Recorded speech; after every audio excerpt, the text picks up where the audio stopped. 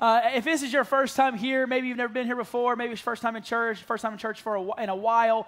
Uh, my name is Pastor Zack. I have the honor and the privilege of being our lead pastor here at Multiply Lake Norman. Hey, this is our first Sunday back uh, for the year. And, and every year we like to set kind of some patterns into motion. And so, starting off uh, the first service of every year, there's two things that we do the first thing that we do is we kind of unveil uh, our word of the year. And then the second thing we do is we get ready for our 21 days of prayer and fasting. Uh, so, man, maybe you haven't been here at the beginning of the year. Let me kind of set the stage for you. This is what I'm going to ask you to do.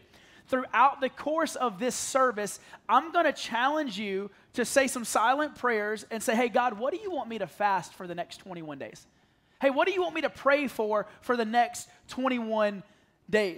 I talked to our men's group this past Thursday and the Thursday before that, kind of letting them know that it was coming. I texted a few other groups. I talked to our staff, and, and we're all kind of prepared for that. And we're going to dive into that uh, and kind of unveil that a little more as we go through today's service.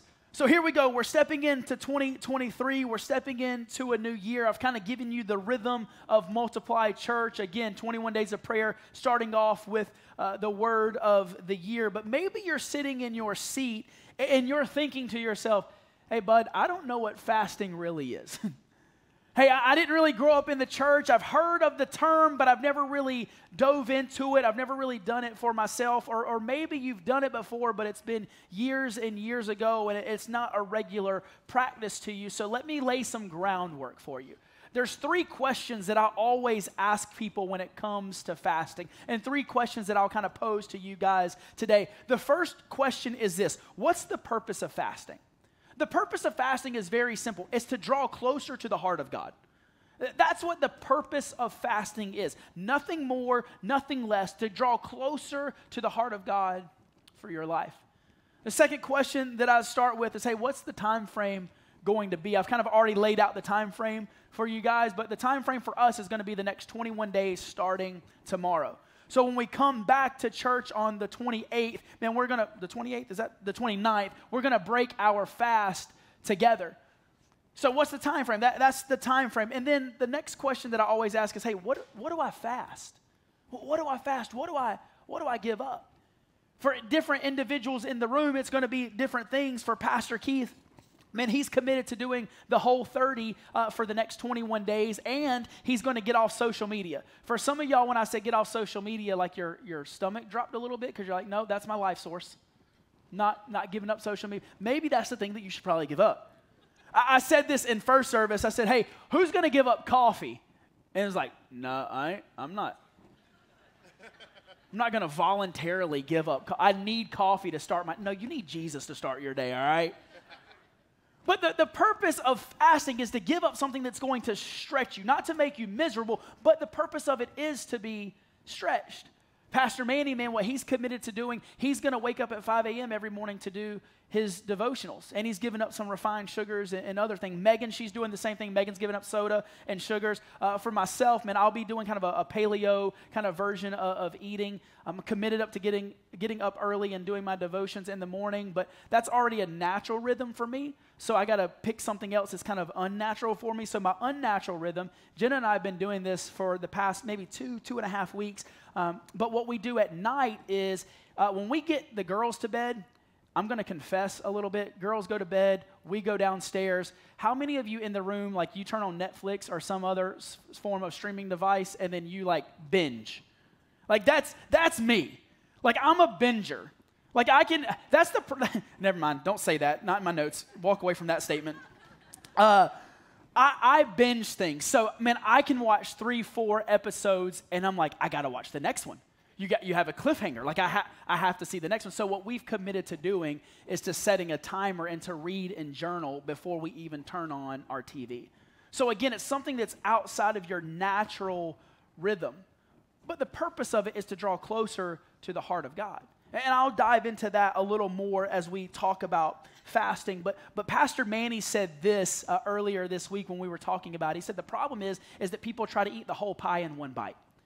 And I think that's the way we approach prayer and fasting in our life. We try to do everything at one time. And you've been there. You start off the beginning of the year, I want to do X, Y, and Z, and you give yourself this list of things to do. A week goes by and you're like, this is impossible. I, I can't, I can't do this. I'll equate it to this. When I graduated from college and got a big boy job and got my big boy, my first big boy paycheck, making a whopping $24,000 a year. Uh, but when I got that first big boy paycheck, I was like, you know what? I'm saving half, I'm saving half of my paycheck. It's going into the savings account. A week and a half later, like I'm transferring savings back to checking. so I can, but you've been there, right? It's like, I'm going to put half of my, no, you're not. You got to pay bills and you got to eat. Like start, start out with something that's palatable. Start out with something that you can do and that you can be consistent with. Again, we're going to dive into that a little more. But, but Matthew chapter 16, verse 14 says this Then Jesus said to his disciples, If anyone wishes to come after me, he must deny himself and take up his cross and follow me. Again, the purpose is to spend intentional time with Jesus. So that's the structure of what's going on over the next 21 days, and I'm going to challenge you even more throughout the service. Now, let's take a dive into our word of the year. Again, every year we come up with a, a word of the year. Last year it was generations. Uh, man, we've had crossover was a word of the year, multiply was a word of the, uh, of, of the year. This year, our word of the year is Altared. So, throughout the next several weeks, we'll be talking about seven different altars that I feel like everyone needs in their life. But throughout the year, you'll see this theme come up in our services. Our theme verse for the year is Leviticus chapter 6, verse 12, and it reads like this The fire on the altar shall be kept burning on it, and it shall not go out. Again, over the next several weeks, we're going to be looking at different altars throughout Scripture. If you plugged in online last week, you kind of got a sneak peek to the altars that we're going to be talking about. But I'll ask you this question What does every altar have in common? It's a rhetorical question. I'll, I'll, give you the answer, but there's three things that every altar has in common. Every altar has fire, every altar has sacrifice, and every altar has the presence of God. You, you can't have an altar without having those three things. And I know this to be true. You can't leave an altar unaltered. If you encounter an altar of God, then your life will be changed. You can't encounter something that God has for us and walk away staying the same. So, kicking off with week one, I want to talk about the altar of prayer. Today, we're going to be in Daniel chapter 6. We're going to take a look at, at Daniel's life. But, but before we do that, again, I've already confessed that I like to binge watch shows. And one of the shows that I've been watching, uh, probably too much lately, is called Alone. Has anybody seen Alone on Netflix? Okay, keep your hands raised if you're like hooked like I am. Like it's a it's a fun show to watch. But here, here's the premise of the entire show. The premise is that 10 individuals get dropped off in the wilderness and they have to survive alone longer than anyone else. Last person standing wins. Now, here's the thing like, it's, it's not like Survivor, okay? Survivor is a little odd to me because they're not really out there by themselves. It's like there's a big camera crew, and y'all are getting a lot of crazy shots of them. Like, how do you get those shots without a camera crew being there? And then also, somebody gets hurt. It's like somebody comes out of their little trailer in the woods and like, hey, you need this, right? Or like, hey, here's a steak dinner for you if you win this challenge. I like the mustache, by the way. Good look. Um, side note. But with this alone show, you're truly, the individuals are truly alone. They have like GoPro harnesses, they wear them on their head, they set up some tripods like with their cameras, but they are truly alone. Once the individuals drop them off and, and sail away, they have no contact with society or with humanity. Now, here's another premise of the show. Again, last person standing wins half a million dollars, but they, they get a list or they can create their own list of 10 different items that they want to bring. And they can pick whatever items they want to bring. And many of them bring things like an axe or a saw, a tarp, a rope, a cooking pot, sleeping bag, fishing line or hooks, a gill net so they can kind of toss out and catch a lot of fish at one time. But many individuals bring what's called a ferro rod. Now, a ferro rod creates sparks and, and it lights a fire. And like any good person in the room, when I see it on TV, I go to Amazon to see if I can find it. And so, so Man, I got in trouble. I got in trouble this past week with this thing in my house because uh, I was on our granite countertops, like lighting fires, like literally in our kitchen. Jenna's like, if you want to play, go outside. Babe, I'm not 12. I'm a grown man, but yes, ma'am, I'll go outside. But it's this idea that, that, that this ferro rod, and, and what I've noticed watching the show is that, that creating fire is literally the difference between life and death. Listen, if you don't, if you don't have fire, you primitively you can't you can't survive. You can't boil the water, you can't cook the food, you can't ward off predators. So again, I got this thing and I started playing with it a little bit. It's like, man, how does this thing work? And then all of a sudden, Damon, turn the lights off for me. Turn the lights off because I just created fire in like 10 seconds. Look at that. Thank you for clapping. I appreciate that. We have, let me blow this out. That's getting big. Okay, fire alarm, don't go off. I think we're good. Like, Zack, why are you, why are you lighting fire? Like, why are you lighting fire for, for service? Don't worry about the sprinkler system. Uh, Christmas Eve, side note, not in my notes, Christmas Eve, about 300 people in the room, 300 candles lit, beautiful service. I did not think everybody was going to blow their candles out at the same time, and they did. Cloud of smoke. Fire alarms did not go off. We're good. All right, this is not going to sell the fire alarm. But I, I feel like this is the way we approach we approach following Jesus. Because we expect other people to carry our fire. We expect the pastor to carry the fire for us. Well, I didn't get anything out of the sermon today because the pastor didn't bring it. No, maybe you weren't in tune to what God was trying to say. Well, I didn't get anything from the worship service today because the worship team didn't worship like I like them to. No, maybe you should create your own worship because the way I read my Bible is that I should be able to worship to anything. Why? Because I'm not worshiping the people or the music, I'm worshiping the presence of God. So, so here, here's the thing like we're called, we're called to carry our own fire. This is what I've found out is that for many Christ followers, again, they expect people to carry it for them.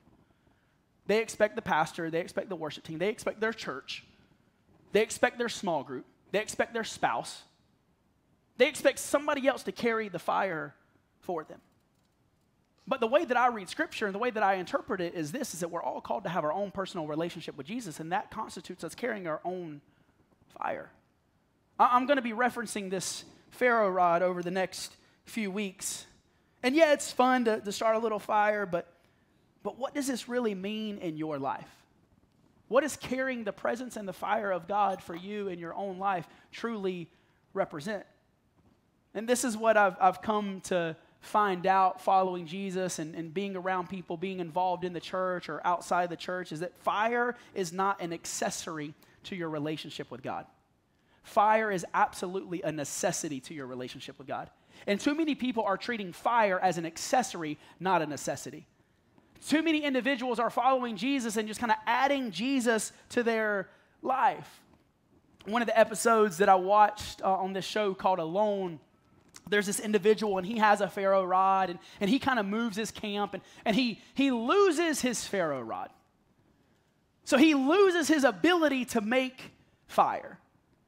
Like, inevitably, that would be me. And here's the problem I would, I would want to call someone, mm, that someone being my spouse, and I want to say, hey, babe, where'd I put the.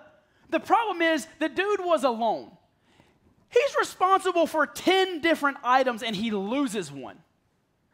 Every husband in the room is like dropping their head. It's like, I lose my keys every day. I lose my phone every day.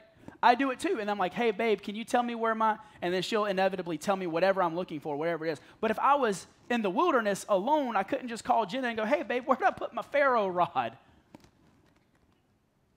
But we almost rely on other people to tell us how to get the fire.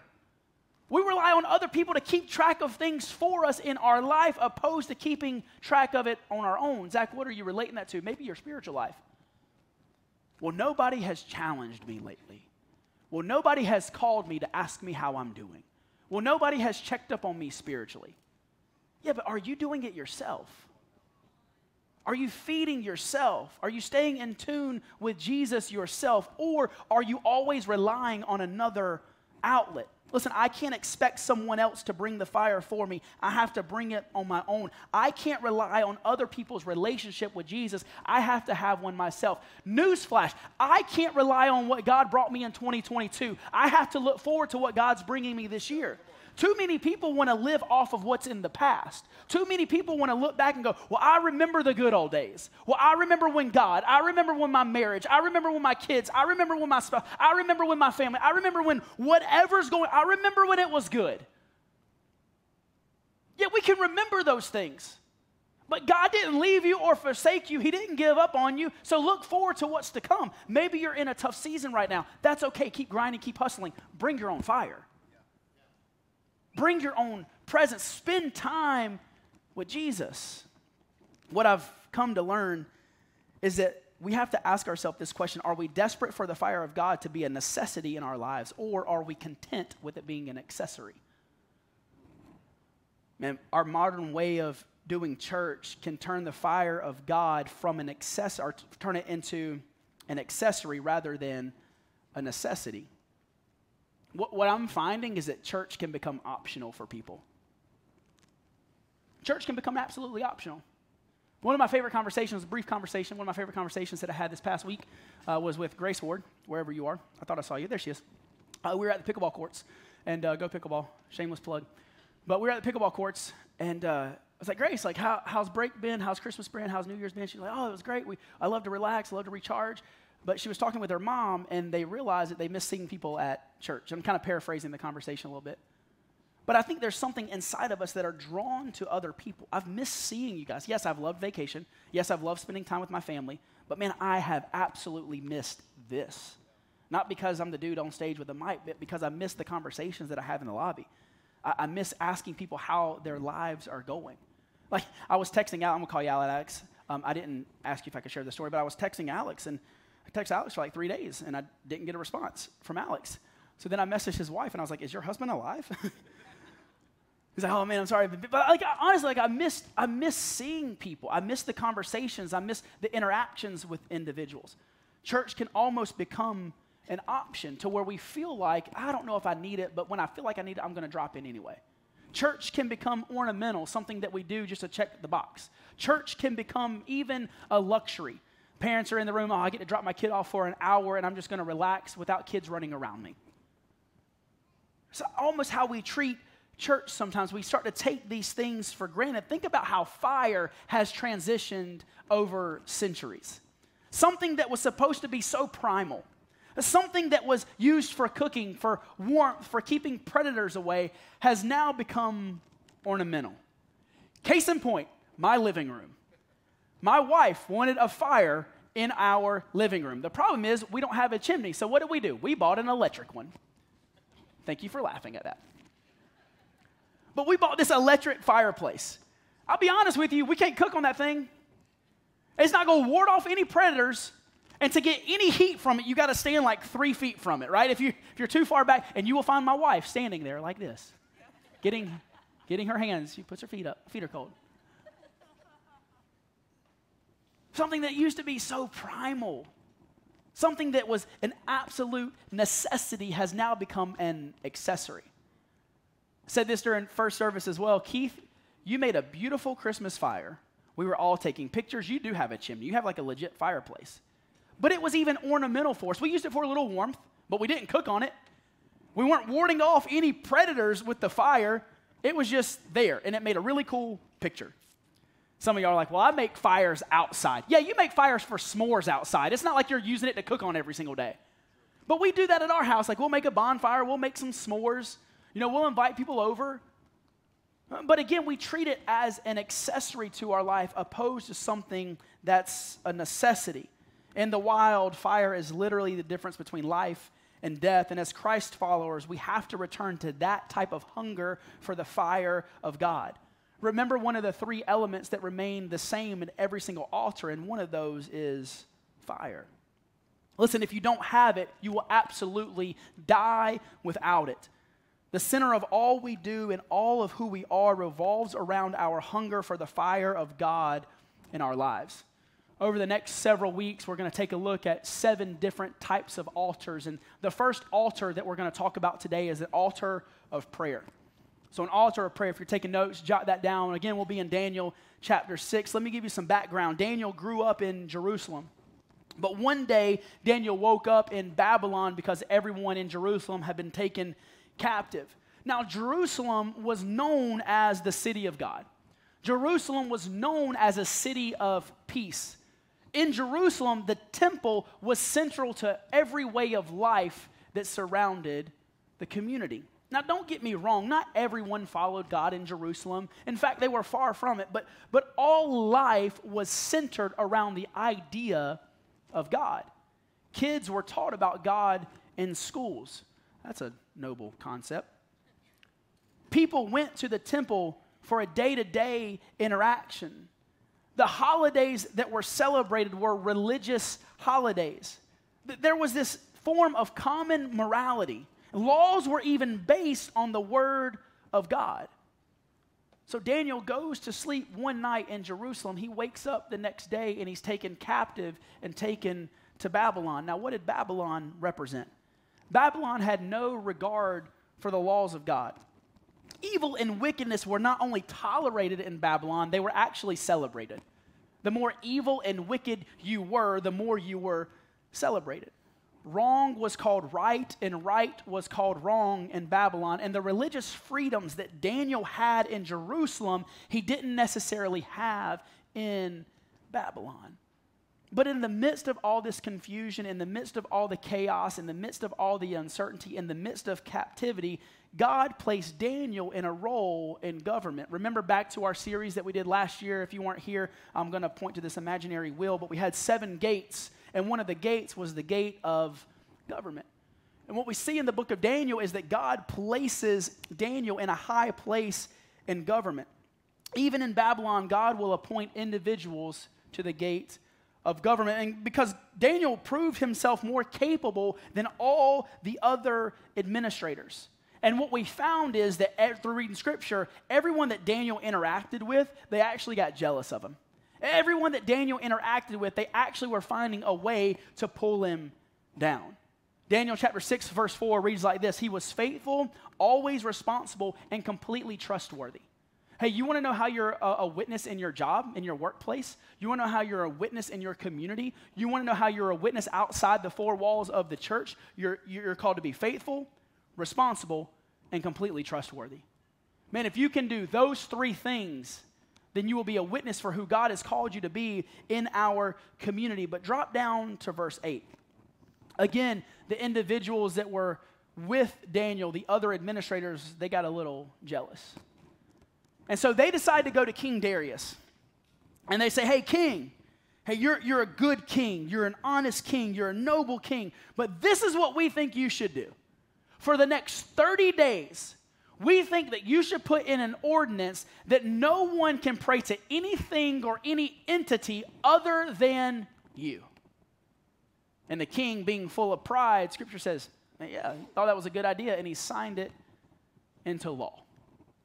And verse 10 reads like this But when Daniel learned that the law had been signed, he went home and knelt down as usual in his upstairs room with its windows open toward Jerusalem. He prayed three times a day, just as he had always done.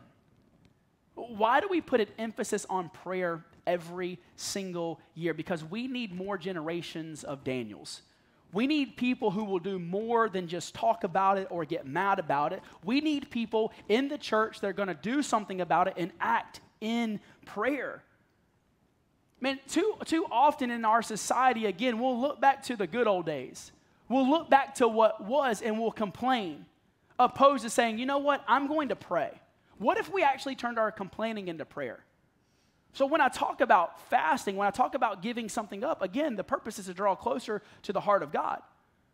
Hey, may, maybe you are giving up coffee. Somebody's like, stop saying that. Or, Get behind me, Satan, right? But maybe you are giving up coffee, and the purpose of that is, man, every time you're craving that coffee, every time you're craving that caffeine, what do you do? You pause and say, you know what? Hey, Lord, man, I got this craving right now. But more than that, man, would you give me, would you give me eyes to see like you see? God, would you give me, would you give me ears to hear like you hear? God, would my actions be your actions? Sure, God, I want, I want coffee, but that's not the most important thing in my life. You're, you're called to be the most important thing in my life. Would you help me keep you at the center of all that I do? What if our lives transitioned and shifted that way. What does it look like to build an altar of prayer? The first thing is this when we build an altar of prayer, when we pray as usual, it brings God's unusual. Let me read verse 10 again. But when Daniel learned that the law had been signed, he went home and knelt down as usual in his upstairs room with its windows open toward Jerusalem. He prayed three times a day, just as he had always done. What does your as usual prayer life look like? Because we got we have the wish list. God, would you help me? God, would you do this? But what does your as usual prayer life with God truly look like? Fast forward in the story, Daniel prayed. The king was, was forced to arrest Daniel and to throw him in the lion's den. Everybody wants God to show up in the lion's den. If I'm ever thrown up in a lion, thrown in a lion's den, I hope God shows up. But think about more practical ways that you and I deal with this situation. It's like you lose your job or your job isn't going the way that you wanted it to, and you pray for God to show up in the middle of that situation. Your marriage is on the rocks. You pray for God to show up in that situation. You get a bad doctor's report. You pray for God to show up in that situation. Your finances aren't where you want them to be. You pray for God to show up in that situation. And God wants to show up in your life. But what does your as usual prayer life look like? Is your as usual just trying to get a transaction from God, or is your as usual actually spending time connecting to the heart of the Father? Man, I've been, I've been guilty of it. I've been guilty of the transactional prayers, especially when I was in college. God, if you answer this prayer for me, I promise I'll never do that again. Some of y'all are chuckling because y'all prayed those same prayers. Try to barter with God. What if, what if this year we didn't barter with God, but we leaned into the heart of God? What if we weren't bartering? God, will you do this for me? And if you do this, then I will do. Hey, God, I just want to I want to know your heart. Again, God, give me eyes to see, give me ears to hear, give me words to speak, that I might be able to draw closer to your heart. What does your as usual prayer life look like? What I know is that there's power in habit and there's power in ordinary. Hey, if you're looking for a good book to read, uh, kick off uh, beginning of the year, uh, one book. I've got all the books that I'm going to mention up here. Feel free to come up and, and take a picture of them. They're going to put them on the screen here in a second. But one of the books that, that I've read through before is called Chop Wood, Carry Water by Joshua Medcalf. Not a spiritual book. It's not like a, a, a church book, but it, it, it's kind of like a, I would relate it to like a Karate Kid book, meaning you walk through this story of, of someone learning to wax on and wax off before they fight. But it, it's this idea of doing the ordinary unordinarily well. How do you learn to do the ordinary things in your life unordinarily well? Man, the ordinary things in your life, you know what it should look like? Spending time with Jesus. How do you learn to do that unordinarily well? You know what ordinary should be in our lives? Prayer. But how do we learn to do that unordinarily well? You know what should be ordinary in our life? Taking care of others. But how do we learn to do that unordinarily well? That's the whole premise of the book, doing the ordinary things in life unordinarily well. It's the ordinary prayer life. I'm sure not every prayer that Daniel prayed was spectacular. I'm sure that every prayer that Daniel prayed wasn't so powerful that he felt the presence of God in the room right then and there. Anybody else ever been there? Like you want your prayer life to be spectacular, and I, I want mine to be that way, but sometimes it's like, hey, God, I'm here again. Um, yeah, I'm here. It's like I almost don't know what to say. Just an ordinary conversation. Hey, God, help me today. Help me to be your witness. Help me to follow you. It's not something that's necessarily that spectacular, but it's something that becomes ordinary in my life. The Bible Project put out these stats for people who read their Bible regularly and pray. And they said this people who read their Bible and pray regu- regularly are 228% more likely to share their faith with others. People who read their Bible and pray are 231% more likely to disciple others. People who read their Bibles and pray are 407% more likely to memorize Scripture. What I know is this all of our prayers won't be spectacular, but our prayers do bring the spectacular because it brings us into the presence of God. If you're taking notes, write this down. When, is, when and where is your as usual? There's three specific things that I want to give you. And the first one is this. Well, the first question I want to ask you is this When is your time to pray? Now, listen, some of you in the room, you set your alarm clocks for three, four, five o'clock in the morning and you get up and pray. Great. Others of you sleep into seven and you get up and pray. Great. Others of you spend time with Jesus at night. Great. This is what I know to be true. Just because you get up earlier doesn't mean you're more or less spiritual than someone else. And half the room said amen. I don't have, listen, when I was in the military, I got up at three o'clock every single day. not in the military anymore. Guess what? I can sleep until seven if I want to, and that still makes me a grown man. And guess what? I can still spend time with Jesus at seven o'clock. I'm seeing like some chuckles, and everybody that wakes up before seven, you're like, no, you can't. Yes, I can. But what does it look like for you to spend time with Jesus? Don't worry about what other people are doing. We're so focused on what happens in our peripheral that we forget to focus on ourselves. Listen, if I'm focused on other people waking up and the time they're spending with Jesus, guess what? My focus is on them and not on God. I couldn't care less when people spend time with Jesus. Just spend time with Jesus. What is it for you? What's practical for you? Man, there's some people in the room, you can spend an hour, hour and a half, two hours every day with Jesus. You throw on some worship music, you read, you pray. Others of you, 15 minutes goes by and you're like, squirrel. 15 minutes goes by and you're like, what do I have to do today? You start, anybody else in the room like that? I'm like that. Like, I got to recalibrate my brain every 10 minutes because if I get to 15, I'm lost. I'm gone. But what does it look like to spend intentional time with Jesus? What is your time to pray? Write it down. What's your time to pray? The next question that I'll ask you is what's your place to pray? Got a picture from Pastor Manny uh, yesterday he said, Hey, so I got to backtrack a little bit. Uh, Alex is helping me cut a hole in my wall underneath my stairwell so that I can have literally like a prayer closet and somewhere to kind of get away.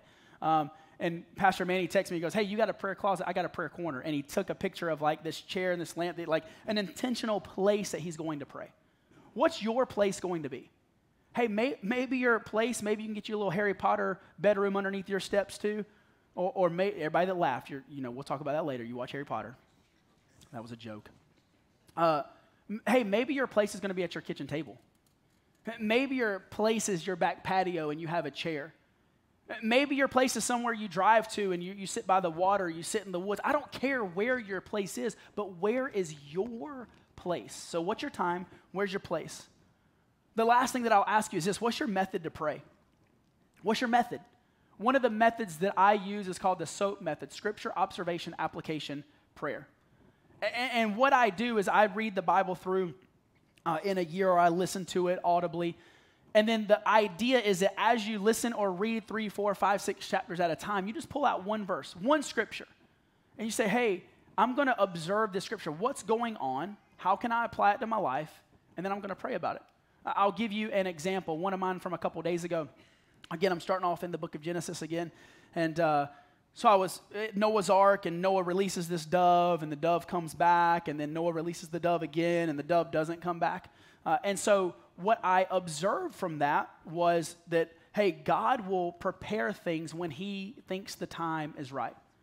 So, how can I apply that to my life?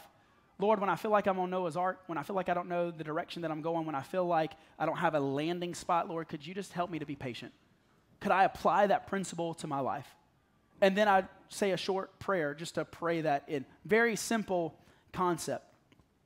But I took it a step further for me. For me personally, I asked uh, Pastor Keith, Pastor Manny, and Josh Randalls as more of a smaller group to hold me accountable. So every Monday, we're committed to calling each other and going, hey, how have, how have your quiet times been? How's your time with Jesus been? And, and hey, what are you journaling about? What are you writing about? What's God speaking to you? I've said this before in church, and I'll say it again. Too often, Christ followers want to talk about all the negative stuff in life and not talk about the stuff that God's doing positively in their life. What if we flip the script a little bit and in 23 we said, hey, let me tell you everything positive that's happening in my life? Let, let me tell you where God's showing up in my life. So it's a way for us to hold each other accountable. Let me fly through these. I'm going to give you some practical tips for prayer and fasting, and then I'll land the plane. The first tip that I want to get you for, for prayer is this make it simple and don't beat yourself up. Make it simple and don't beat yourself up. I told you the method, the SOAP method, scripture, observation, application, prayer, but get a journal. Write something down. One thing that, that I do every year, regardless of how many pages are left in the journal that I'm finishing, is I will com- I'll get a new journal every January. So I've got one that I can insert it in, insert it out. So I started one, I had about 30 pages in my old journal. Hey, new year, starting a new jan- uh, journal. Threw it in there, started writing stuff down. Every day, even if it's just a sentence, just write something down. Have a goal. Man, what do you want to obtain through the next 21 days of prayer? What are you asking God to answer? Ask someone to be your accountability partner. Man, I got, I got three guys that I know they're going to ask me hard questions, and I can trust them to ask me hard questions. And then again, share what God is doing in your life. For fasting, let me give you some tips. Make it simple and don't beat yourself up. Too often, we, again, we get that list and we're like, I got to do this. No, make it simple. Think of the bank account. You're not going to save half of your paycheck. Put a hundred bucks to the side, but be consistent with it and don't transfer it back over. Right? Be consistent. Hey, maybe you've never done a fast before. Maybe you're going to cut out soda. Maybe you're going to cut out gluten or bread. Maybe you're going to cut out sugar. Maybe you have done a smaller fast before. Maybe for you, this time you're going to do the Daniel fast. Or maybe you're going to do the Whole30. Maybe you're going to do paleo. Maybe you're going to do something like that. Or maybe you're going to cut out social media for 21 days. Maybe you're going to cut out coffee for 21 days. What is it for you? And then I get asked this all the time hey, what are some good books that I could read? Go ahead and throw all of those books on there. Uh, man, if you want to take a picture of this, it's a good, good starting list. Uh, but The Beginner's Guide to Fasting by Elmer, Elmer Towns, um, it's a good little devotional book, too. Uh, God Dreams by Will Mancini. I believe that people don't step into fasting and prayer as we're called to do because you're actually nervous that God will answer your prayers. You're actually nervous that God will answer your God sized dreams. And this book helps you kind of navigate that. Uh, Simple Prayer by Charlie Dawes. Uh, prayers don't have to be colorful or long. It's just a simple conversation with God. Chop wood, carry water. I mentioned that one. And then Gentle and Lowly uh, by Dane Ortlund. I'm actually probably two thirds of the way through that book. Uh, that's the book that I'm reading at night that I kind of explain with Jenna. But what does it look like to build an altar of prayer? Got two more things. I'll do them quick. Number two, open windows of prayer bring an open heaven over cities.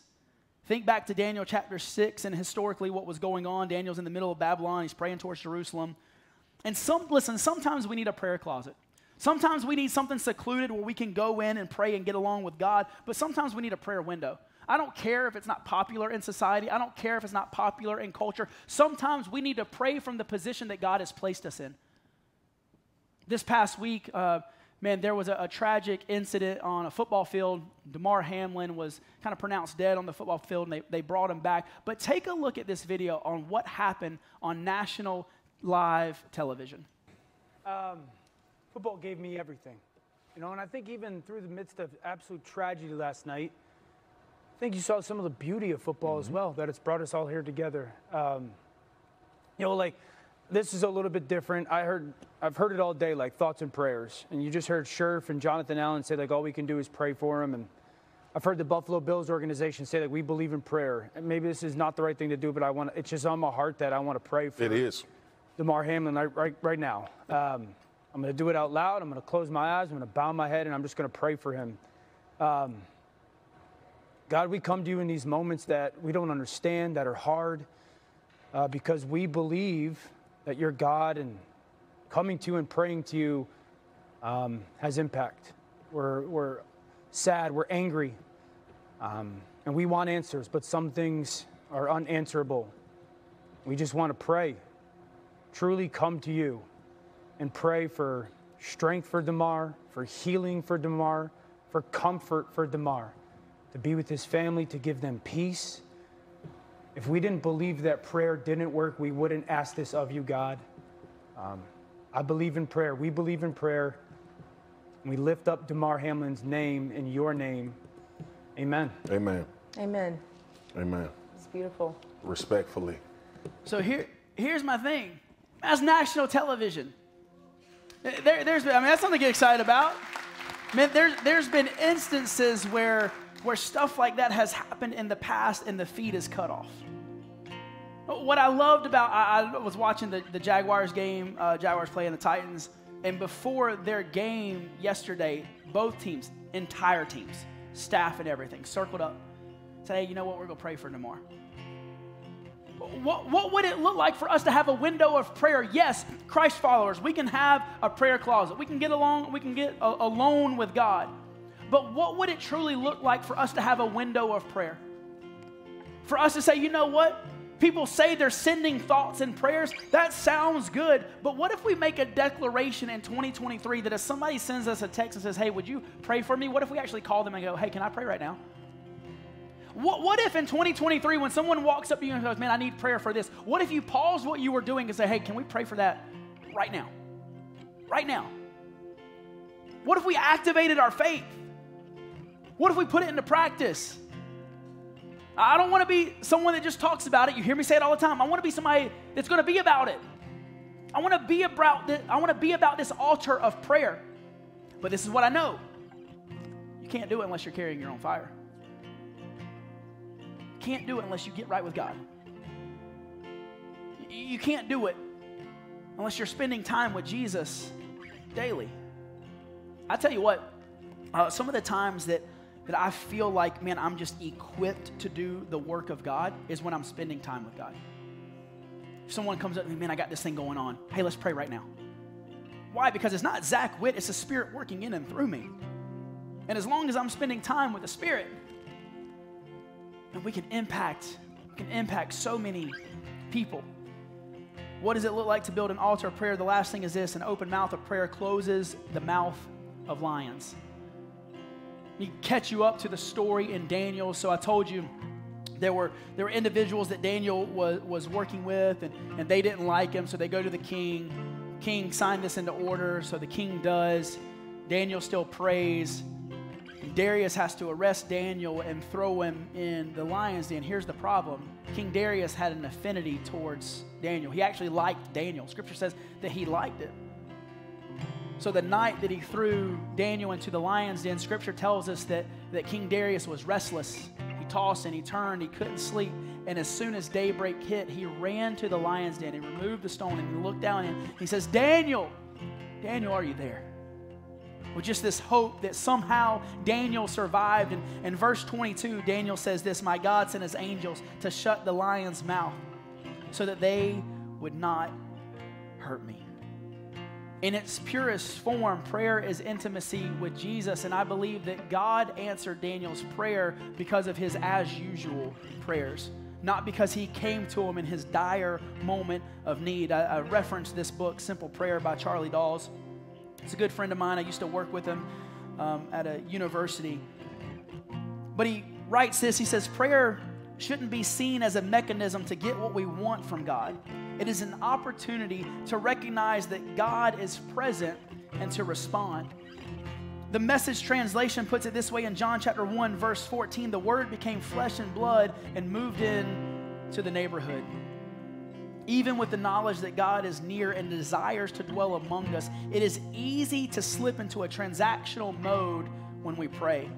Listen, we all have needs that are pressing and we serve a God who is our source and supplier. But if we see prayer primarily through this lens, we trade intimacy for transaction.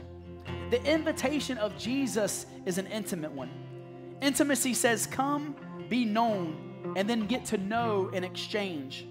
Intimacy promises trust and love abounding. Intimacy is what we crave, but often our prayers seem like a wish list offered for fulfillment. Rather than seeking intimacy in prayer, we are tempted to turn prayer into a performance. Listen, what I know is prayer isn't a performance.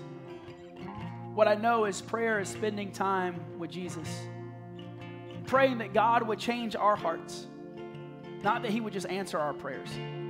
At Good Drip Coffee, uh, we have a prayer wall, and over the past couple of months, there have been 144 different prayers that were written on the wall.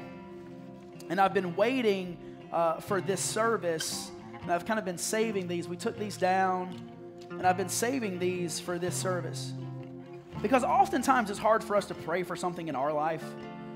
You know, that's when we get that wish list of prayer. You know, that's when we say, hey, God, would you just do this for me? God, would you do that for me? But something changes when we begin to pray for other people. And what I'm learning is that something really begins to change when we pray for people that we've never encountered. And what I know is that there are very real prayers on all of these cards.